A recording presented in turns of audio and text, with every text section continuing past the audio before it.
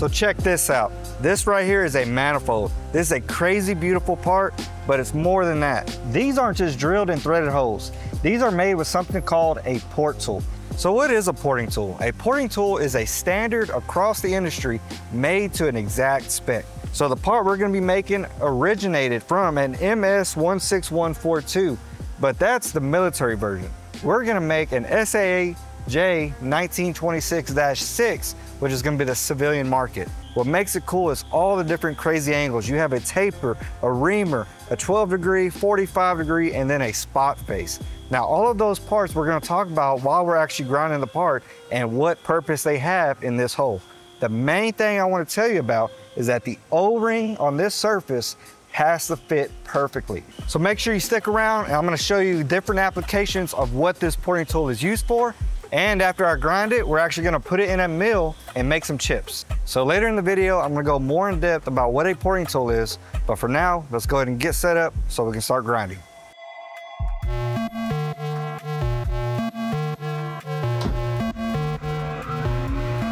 So these porting tools started with the military usage, but after a while, the civilian market actually transitioned to do it. And that's why we went from an MS standard to an SAE standard. That way the military can outsource and get it made by civilian contractors. So our wheels are balanced, checks out green. Let's go ahead and print off our calibration sticker. So the tool we're gonna be making today is actually a reamer pilot porting tool. Now that tool's still gonna need a pre-machined hole, but instead of the other solid point, this porting tool is gonna actually be one pre-machined drill hole, and then it's gonna come back in and do the entire contour at once. So you're going from three operations to two. All right, so now my wheels are dressed, balanced, and measured. So now what I need to go ahead and do is I need to take these wheels over to the Walter. So I'll meet you over there so we can get grinding. All right, so we talked a little bit about what a porting tool is and we measured some wheels, but let's talk about how we're gonna do the work holding. So this is gonna be our preformed carbide blank, and what's gonna happen is this drawbar is gonna go inside that spindle, then we're gonna put the cap on, and then we're gonna mount the collet into the drawbar. So that drawbar is gonna be threaded on the collet. That way, when we put the carbide blank in there and it draws back, it puts pressure on the taper and it stops it from coming out. Now, once it releases, releases out that pressure. So enough about that, let's go ahead and put it in the machine.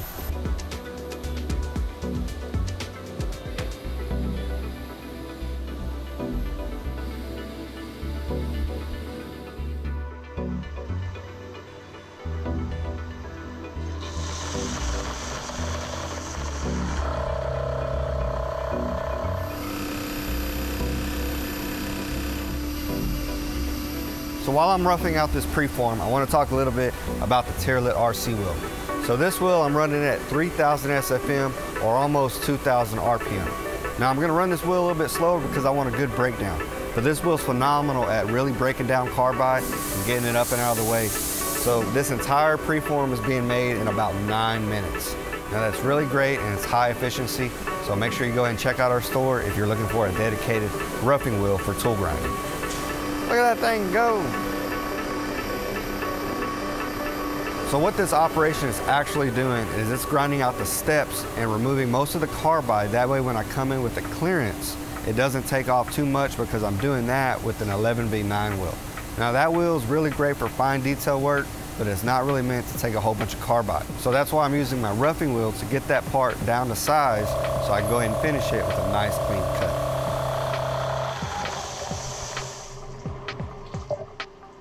The tolerance for my tool is 502 to 515, and that's gonna be for the minor diameter of my thread. So what I wanna do is I wanna put it right in the middle at 507, so I'm gonna go ahead and check it with an OD mic. So I'm at 514. That's gonna leave me seven thou to go ahead and clean up on a contour grind. But I wanna go ahead and clean it up a little bit. I'm gonna use a wheel with better edge retention. So I'm gonna go ahead and switch over to a StarTech XPP Plus wheel. The good thing about the Walter Vision is that this one comes with an eight wheel tool changer.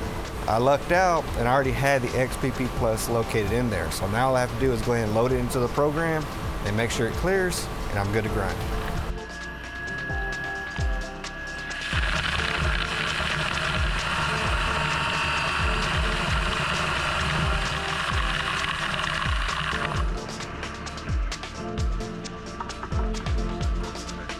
So now that my contour grind is complete and I'm on size with my part, I can go ahead and switch over to my RC wheel and start my fluting passes.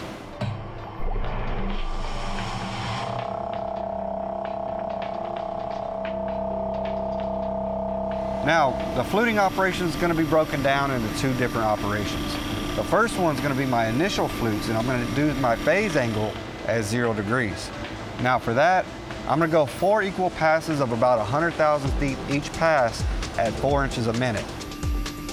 I can take it all in one pass, but I would have to slow my wheel down to one inch per minute. But if I go ahead and do four equal passes at four inches per minute, it's gonna be about the same for my cycle time. And that's gonna be great for this RC wheel and not break my wheel down so I can hold my fluting size. And then I'm gonna do a secondary fluting operation with that phase angle being negative 25 degrees. Now what essentially what that's doing is that's creating a flute in two different spots, but it's following the same path.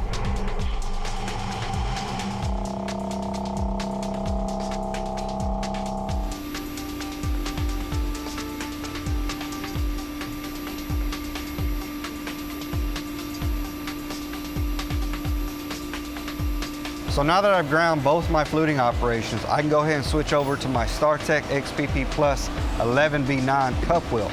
Now a cup wheel is designed for use for clearances, and that's what I'm gonna use to go ahead and put the clearances on my porting tool. So another reason why I wanted my porting tool to be on size for my preform operation is that when I put the two clearance angles on the outside diameter, it's not going to remove that much material, so my tool is basically going to be on size once I flute it. The clearance angles are just going to give me proper chip evacuation to get those chips up and out of there and give me a nice clean cut. Now for the clearance grind on this porting tool with my 11V9 wheel, I'm going to start at the back of my tool and I'm going to grind down to the front of my tool and that's going to complete my two clearances.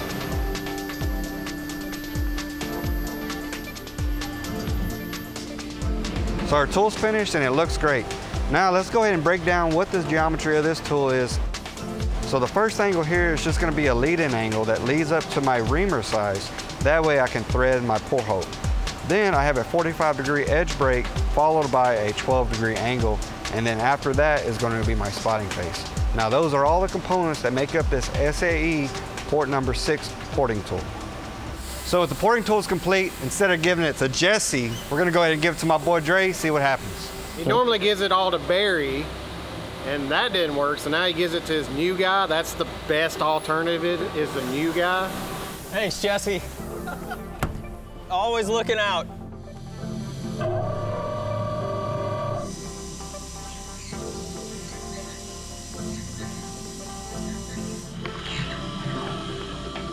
I just wish Titan would hire someone that I was taller than. But that pool is very small. Just like you. See that banter? He's already got it. He's fitting in good here. Now let's see what Chris managed to make. There we go.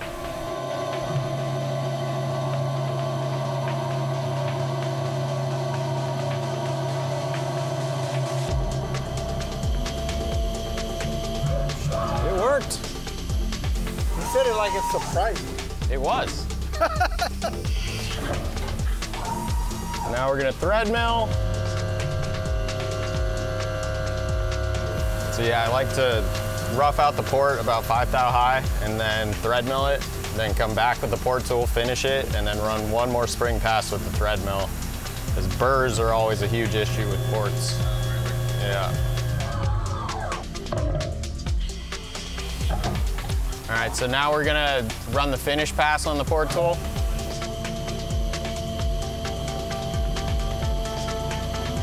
It looks pretty good with the... Yeah, it looks awesome. I'm impressed. See that? I impressed him. Uh, Every tool I gave Barry broke, so we're, we're one for one with Dre, so love you, Barry. I'm just playing. Don't hurt me. How does it feel, Dre? Nice. So Drake just checked it with the thread gauge. This port tool came out absolutely perfect.